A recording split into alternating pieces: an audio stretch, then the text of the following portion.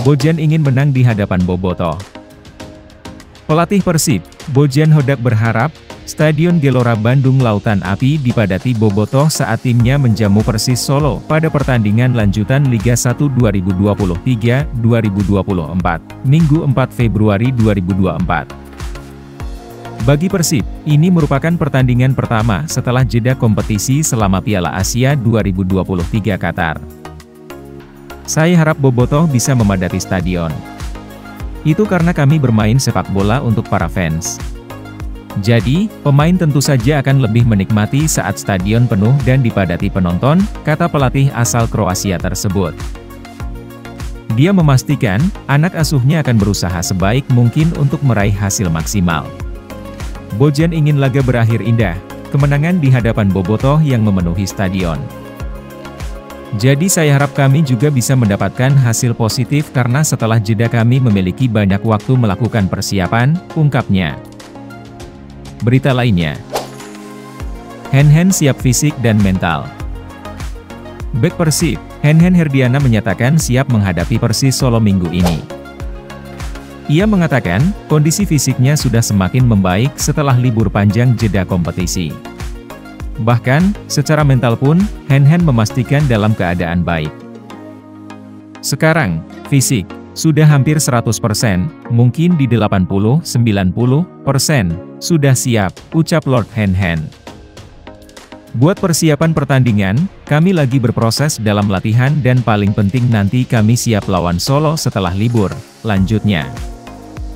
Sebagai pemain belakang, Hen Hen mengaku siap menjaga wilayahnya supaya tetap aman. Diakuinya lawan punya pemain depan yang tajam, dia dan rekan-rekannya akan antisipasi hal tersebut. Mereka kompak, agresif dalam counter attack, mempunyai pemain yang sangat cepat.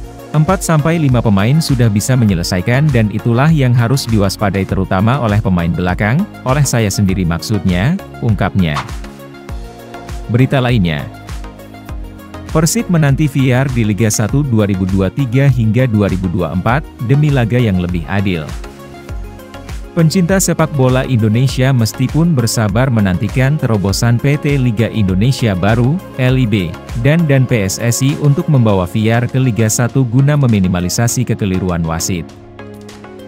Direktur Utama PT LIB, Ferry Paulus, baru-baru ini mengungkapkan bahwa VR belum bisa diterapkan karena terbatasnya sumber daya manusia, SDM, wasit yang siap bertugas.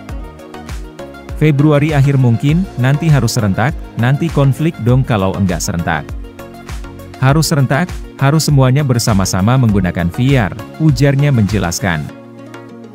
Pelatih Persib Bandung Bojan Hodak angkat bicara tentang seberapa mendesaknya penerapan VR di Liga 1. VR dinilainya bisa membuat kualitas pertandingan menjadi lebih baik. Terkadang, VR bisa menguntungkan dan merugikan satu klub yang berlaga, namun menurut Hodak itu membuat pertandingan menjadi lebih adil. Tentu saja akan menjadi lebih baik, karena ini bisa membantu wasit membuat permainan menjadi lebih adil, kata Bojan Hodak. Kadang VR bisa menguntungkan dan bisa juga jadi merugikan. Tapi, ini membantu supaya pertandingan menjadi lebih adil, tuturnya. Berita lainnya. Persib Bandung akan diuntungkan dengan beberapa pemain Persis Solo tidak bisa dimainkan. Dilansir dari akun official Persis Solo, mereka mengumumkan 22 pemain yang dibawa ke Bandung jelang hadapi Persib. Namun beberapa nama tidak dibawa dikarenakan cedera dan akumulasi, di antaranya adalah tak ada nama Ramadan Sananta yang masih cedera saat masih bersama timnas Indonesia di Piala Asia 2023 lalu. Lini belakang Persis Solo juga tak diperkuat oleh Jamerson Xavier dan Diego Bardanca. Jamerson Xavier masih terkena akumulasi kartu merah, sedangkan Diego Bardanca tak bisa memperkuat lini belakang Persis Solo karena masih menderita cedera.